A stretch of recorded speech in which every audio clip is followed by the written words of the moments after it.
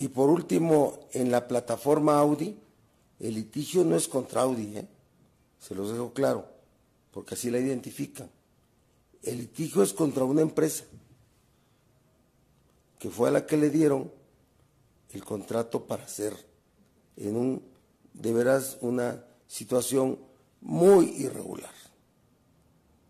Les anuncio que iba a haber un gran litigio, gran litigio, y hay grandes fraudes.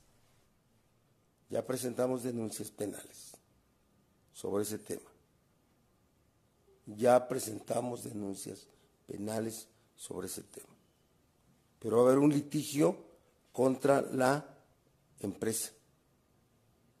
Sí.